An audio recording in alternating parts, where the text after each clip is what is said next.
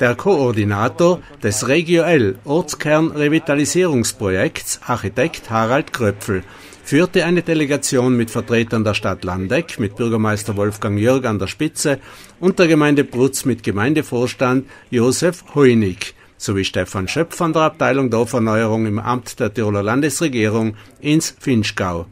Bürgermeister Uli Veit zur Ortskernrevitalisierung ja, das ist für uns ein Riesenthema. Ich glaube, äh, auch bei euch in, in, Tirol ist das auch ein Thema, das die Gemeinde sehr bewegt. Und bei uns ist es ganz, ganz extrem wichtig, weil einfach die letzten Jahrzehnte die Dorfzentren schon gelitten haben. Es ist viel an Dienstleistung weg von den Zentren. Es ist auch Handel teilweise weggekommen und auch Wohnraum.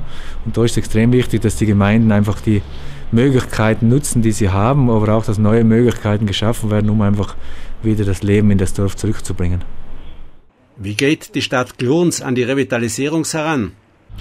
Also wir kaufen mit Hilfe der Landesregierung alte Gebäude auf, wo die Besitzverhältnisse sehr schwierig sein. Also entweder es, ist, es sind mehrere Erben, wo sie sich wieder einigen, oder es ist relativ gras, die Kubatur gras, dass man es auch einfach nicht äh, als finanziellen Überlegungen nicht, sagen wir mal, äh, irgendwo treffen kann und sagen, okay, ich, ich kaufe.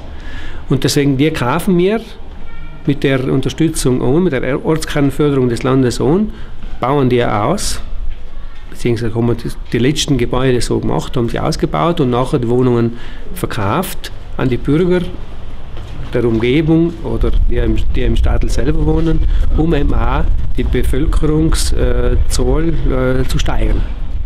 Bürgermeister Wolfgang Jörg war beeindruckt.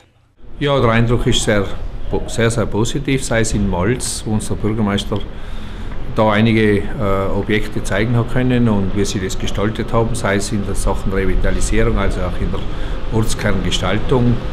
Man sieht aber auch, dass sie vieles äh, in Bewegung gesetzt haben. Natürlich sind da äh, teilweise andere landesgesetzliche äh, Vorgaben da, aber äh, sie haben doch äh, privatwirtschaftlich auch agiert. Sie haben Gebäude angekauft, sie haben dahingehend äh, investiert und äh, mit Einheimischen zusammen, mit Bürgerbeteiligung und auch mit eigenen Prozessen gewisse Dinge gestalten. Und das ist äh, sehr positiv, sei es auch da in Glunz jetzt.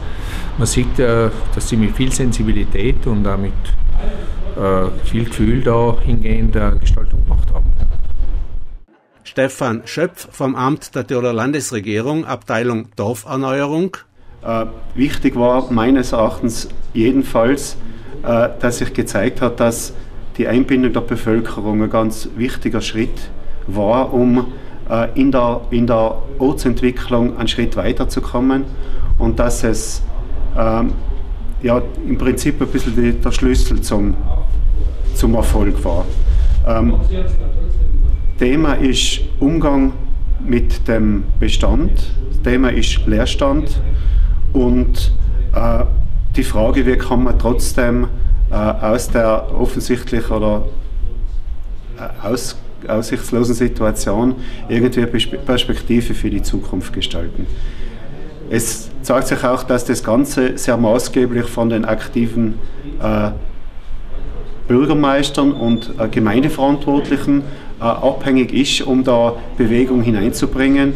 Äh, ich glaube, da hat jetzt sowohl Landeck als auch Putz äh, Positives mitgenommen und ich denke, dass das Anstoß sein wird, in ihren Gemeinden da gewisse Schritte in die Richtung zu setzen.